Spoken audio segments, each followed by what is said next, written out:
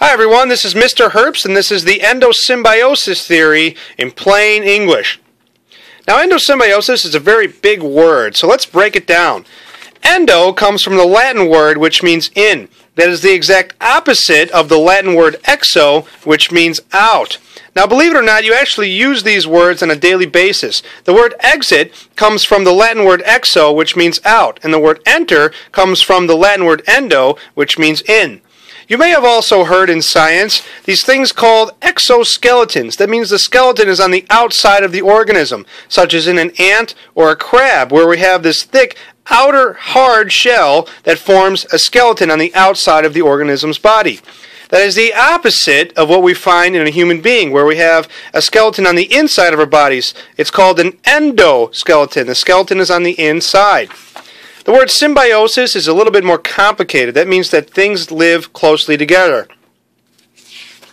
You may have seen an example of symbiosis in the movie Finding Nemo, where we had a clownfish that lived inside of a sea anemone. So the clownfish would swim around and he would get cleaned off by the sea anemone, and so the anemone would actually get a little bit of a meal and the clownfish would get a little of a bath.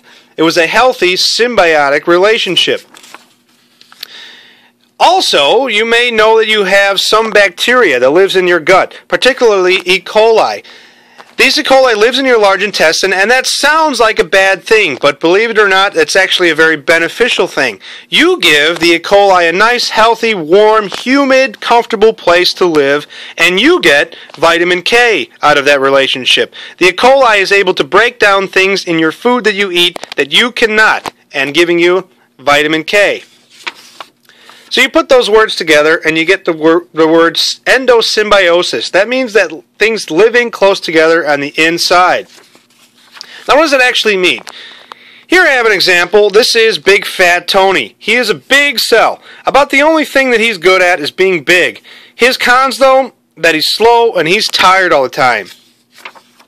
He has a couple of friends. Little John and Little Jim. Little John, he's very good at being energetic. His pros our energy. Little Jim, his pros are that he's able to make his own food from the sun. Both of these guys are very small, very weak, and they're very fragile. So Big Fat Tony's a big tough dude. His two friends, very small and weak little guys.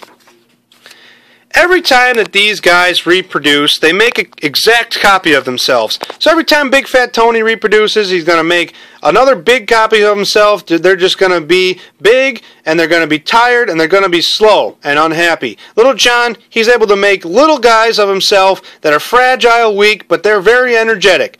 Little Jim, he's able to he's able to reproduce cells that can use energy from the sun, but again, they're also very fragile. So little big fat Tony came up with an idea one day. He said, "Well, wait, wait a minute. I'm a big tough dude, and I got a lot of uh, outer shell, and I'm I'm strong and I'm tough. Hey, why don't you, little John and little Jim, live inside of me, and maybe we could live as a healthy family relationship." Thus is the birth of the endosymbiosis theory. Little John and Little Jim lived inside of Big Fat Tony. Little John gave Big Fat Tony energy, and Little Jim gave Big Fat Tony some food from the sun, and Big Fat Tony gave both of these guys a nice place to live. So, as a team, they were big, they made their own food, and they were energetic. They were actually so good at doing those things that they became bored.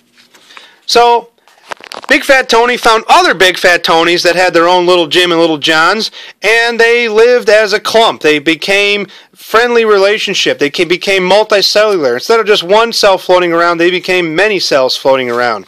And eventually, so many cells came together and formed very complicated organisms that we find, such as a plant or an animal.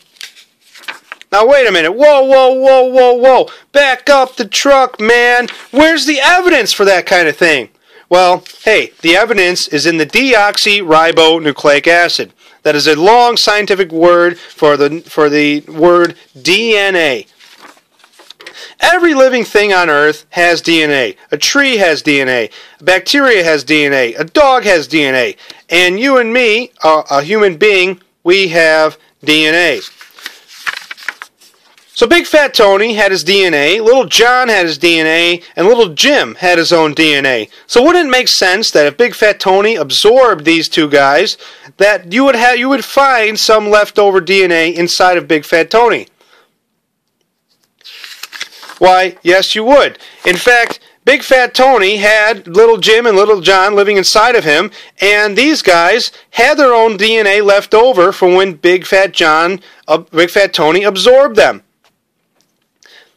So from then on, every when Big Fat Tony absorbed them, every time that he reproduced, he actually reproduced his own little uh, his own little John and his own little Jim. So little Jim and little John were reproduced every time Big Fat Tony reproduced. Thus, a little bit of DNA left over from little John and little Jim was inside of these organelles or these little organs that did things for Big Fat Tony.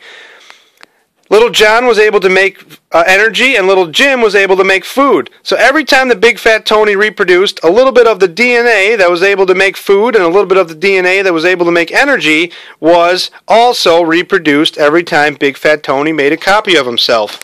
So that is the endosymbiosis theory in plain English. Again, this is Mr. Herbst, and I'm signing off, folks. Have a good day.